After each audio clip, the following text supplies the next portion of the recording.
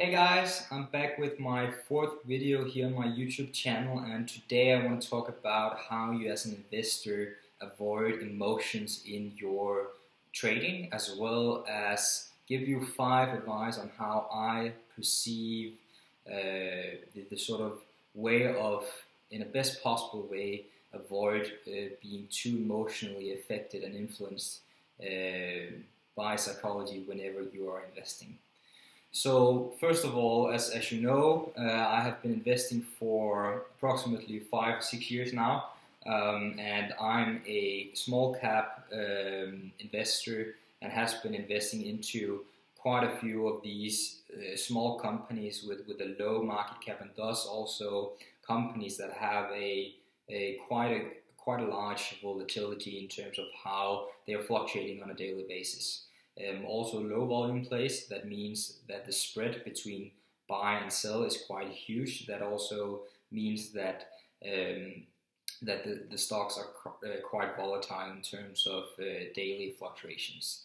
So basically, uh, what that means is that as an investor in this space, you need to be aware of the daily fluctuations and also be prepared to have days where your portfolio, or at least individual stocks in your portfolio, are up by 10 15% and the next minute basically being down the same number of percentages. A good example is Altamira Gold, uh, where the, the, the, sort of the spread between each level, so you can buy at uh, 0.17 uh, cent per share uh, and you can sell at uh, 0.20 maybe. That is a huge difference uh, of, of approximately 20 25% between buy and sell.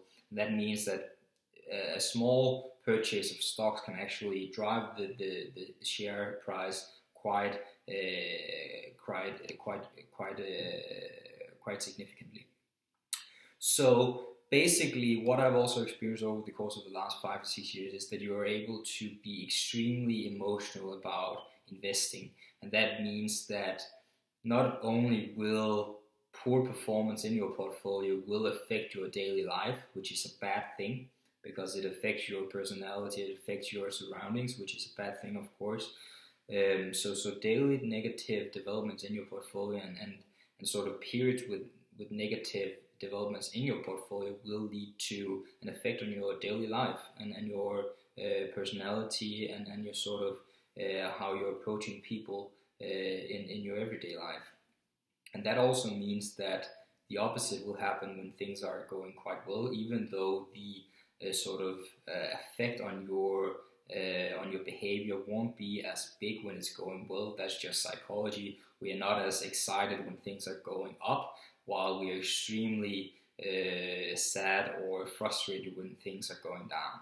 Um, however, what I've experienced over the course of the last five or six years, or at least in, in the latter couple of years, is that you're actually able to avoid these emotions to a certain extent by putting some things in motion in your strategy or your governance, so to say, regarding how you are um, how you're investing and then sort of your approach to investing uh, by by sort of implementing small things to your way of approaching investing, you're actually able to uh, significantly um, drive that impact on your behavior and sort of the emotions taking overhand with, with how you're trading is, is, is quite uh, quite a stunning way of, of, perceiving things. And I think it, it has helped me a lot, not only in terms of, of, of investing, not only impacting my daily behavior to a great extent, but also uh, simply in terms of, of gaining a higher uh, return on, on specific investments because I'm not irrationally uh, trading based on my emotions. Um, so, so there are some great things to, to, to take away from implementing these things. And basically, and this will sound so logical and so easy, and it's, it's definitely not easy at all. Uh, but but the sort of the one thing that will make you able to actually distract your emotions from your trading is to put a strategy in motion or at least to create a strategy and a governance around how you perceive investing. So I have five steps that I think is quite um, quite important, quite crucial in terms of actually getting to a place and a state in your trading career or your investing career where you won't be as impacted by emotions as you have been in the past. And it, it is all it is all a part of strategy. So it is, it is simply having a strategy in place whenever you're doing an, an investment. However, there are sort of five steps under that umbrella of strategy uh, that is quite critical. The first one is the type of investment. So basically, what is it you're investing in? Not only what, but also why. And I think so. So type of investment is basically: is it a day trade? Is it a swing trade? Uh, is it a long-term hold? Um, is it a compounder? Is it a bottom play? So, for instance, we've talked a little bit in, in some of my former videos about RSI 14 and sort of uh, investing in momentum in stocks. Uh, RSI 14 is a, is a technical uh, terminology about uh, the, the, last 14 trading days average uh, sort of uh, trend between 0 and 100.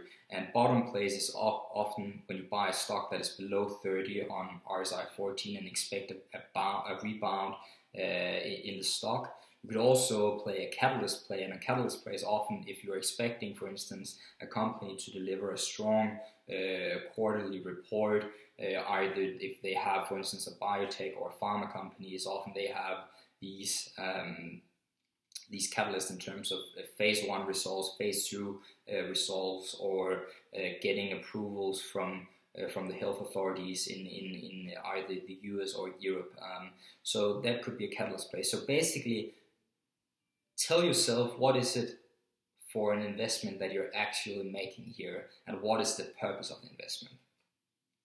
When you have that in place, the second step is to understand the time horizon of your investment. So basically, what is my time horizon on this investment? How long am I gonna hold this specific stock in my portfolio?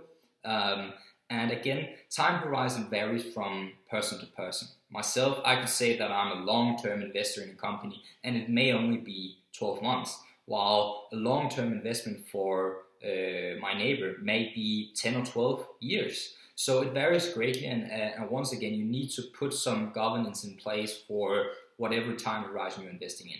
A catalyst play may be a couple of days, it could be a month, it could also be three months. Uh, bottom play is often only a short time uh, period, so that may be a week, a couple of weeks maybe. Uh, and then, of course, day trading that is on a daily basis. Swing trading again varies greatly from person to person. It may be a week, it may be uh, three weeks, it may be three months. Uh, and then long-term holds often again varies based on your time horizon. The third step is putting a price target in place, and I think this is potentially one of the most crucial aspects of avoiding emotion. So basically, greed is, in my, from my perspective, greed is the first and foremost villain of the investment world whatsoever.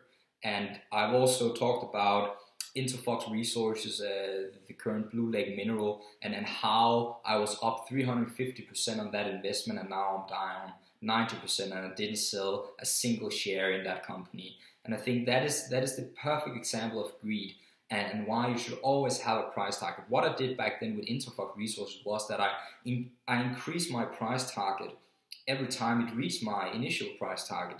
And, and I didn't sell any shares. So basically, if you have a price target on a specific stock, specific company saying, I want to sell at $12 per share, and it reaches $12, please sell out and sort of risk manage. And I think it is, of course, what, what you're able to do then is, let's say that, that we are buying at six uh, dollars per share. It, it goes to the twelve dollars that is our initial target of 100% uh, return in a short period of time is amazing. You should every day be happy about that. You're selling at twelve dollars per share. You're selling all of your shares in the company. What I would typically do is that I, I keep a small position just to, to follow the stock afterwards and then maybe increase my overall uh, return afterwards. However, if you're selling all your shares, a typical emotion you will get if it continues is that fuck, I should never have sold any of my shares. It, it just keeps going, just keeps going. And that sort of um, sadness and frustration in your body is, is, is quite normal. However, I think over time, and if, if you're sort of using this strategy and using this element in your uh, in your own way of, of, of, investing, it will sort of develop into not really affecting you that much. And I think even though stocks have increased, uh, a good example is Lemonade. I sold Lemonade at, at $100 per share. Now it's at 130. It's 30% increase in, in, in, in my investing uh, investment that I could have gained, and now I've I didn't gain it because I sold. However, I made a, a 60% return on my initial investment in, in a short period of time. And I'm, I'm not really that frustrated about it because I it, it reached my price target and I sold, and that's fine. And then there will always be another case, as we talked about in video three. There will always be another case. There will always be uh, another case that you can invest in, and and often you you don't have enough capital to even be invested in uh, be invested in all of those cases you want to be in. So back to the fact that in my in my opinion, having a price target and always following that price target is, is the best strategy you can you can give yourself and the best tool in the toolbox to sort of avoid emotions. The fourth element is is having a stop loss, and then back to again video three about cutting your losses and, and letting your winners run. And I think it, it to some extent depends. And I think stop losses is, is a tricky tool in the toolbox. Personally, I don't use them physically. So I don't, whenever I'm doing an investment, I'm not putting in a, an, an actual stop loss, so to say. However, I have a mental stop loss. So I have a, I have a price in mind or a percentage decrease from my initial investment that I'm having in mind when it reaches that point, I want to sell. So basically, some people are using 5%, some people are using 10%, some people are using 30%. And again, it varies from person to person. There are no correct answer in this in, in the in the specific stop loss level uh, you wanna you wanna set. And, and I think if you're a technical trader, you will likely have a stop loss level based on some of your uh, trend analysis, some of your pivot points. Um, I think it also varies greatly based on the on the company and the stock. If you're in a volatile small cap company that is is fluctuating between 20 and 30 percent on a daily basis, then it doesn't make sense to have a tight stop loss because you will st- be stopped out every every every day basically. However, if you're in a in a large company like Novo Nordisk, for instance, then it may make sense to have a stop loss of five percent because those kind of stocks doesn't really fluctuate that much on a daily basis. So again, having a mental stop loss in mind will greatly again uh, decrease the impact of those emotions because okay there's a possibility that you will be frustrated about it going up after you have sold your shares at, at let's say uh, minus 15% uh, return. However if it goes down 50% after you, you sold out you will be happy about it. So again following your strategy will never make you able to say oh, God, I should have sold, or oh God, I should have never sold, because you're just following your strategy. And I think it eliminates so many aspects of emotion in your perspective on trading. The last element in my sort of five step uh, strategy is basically being able, when I'm doing the investment, being able to assess what will change my perspective on this investment. So basically, whenever I'm doing due diligence, I have some, uh, I have my DD engine, I have several aspects and elements that I'm analyzing a company based on management, evaluation, uh, market growth, so on and so forth. So there are a lot of aspects and elements that I'm looking at there. However, I think when you, whenever you're doing an investment, you need to sort of have in mind what will change my perspective on this? Is it basically the, CEO that is resigning? Martin Cronin from Patriot One Technology is resigning. Um, how's that changing the case? Um, okay, uh, we have Amazon entering the RX uh, medical healthcare space in, in the US. How's that changing the case for uh, Go Health? Or um, there, there are loads of these elements that can change quite quickly from one day to another, and you need to be aware of these fundamentals changing um, and, and sort of assess how is this changing my perspective on this specific company and this specific investment. And I think um, it may also be that a, that a stock is simply up 100%. And I think back to number three and the price target, and and I'm I'm I'm totally fine with you changing your price target.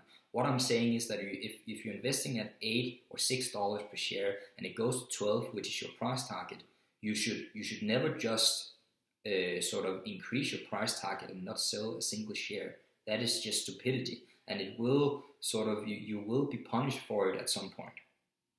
So what I'm saying is that okay, let's just summarize here. First of all, strategy is the way of eliminating avoid uh, eliminating emotions in your investment career. Sort of, and and then when you have a strategy, from my perspective, there are five steps that you need to follow. First of all, you need to determine what is the type of investment I'm doing here. So, what is the purpose with this? And, and what type of investment is it really? Is it a, a day trade? Is it a swing trade? Is it a long term hold? Second is the time horizon. How long is, uh, is my perspective on this specific investment? And how long am I expected to be in this stock for? Third is the price target. So, what is your goal? What is your price target with this investment? Is it a 100% increase? Is it a 50% increase? Or is it only a 10% increase? It varies greatly from person to person. Four is stop loss. And when I'm talking about stop loss, I'm not talking about a physical stop loss, I'm talking about a mental stop loss. So, what is my sort of pain point here? What is the level where I'm not going to take more risk and, and potentially become what we are calling a bagholder in the investment world? So, it's a good way of, of you being able to cut your losses rather quickly, and it also makes you able to actually be able to be rational about stocks that you don't fall in love with. A good example is, is Patriot One Technologies. I was in love with, with that company for a while, and, and I sort of ended up selling quite a big of my position with, with a major loss. But if I were, if I had a strategy initially and had sold uh, when it reached my sort of stop loss level, mental stop loss level, I would have never ended up in a position where I had to take a huge loss on that investment. The fifth and last element uh, of my five uh, step strategy here is to basically as- assess the elements or parameters in a case based on my investment rationale that is changing my perspective on the company. Is it that the market growth is significantly decreasing? Is it a change in management? Is it insider selling?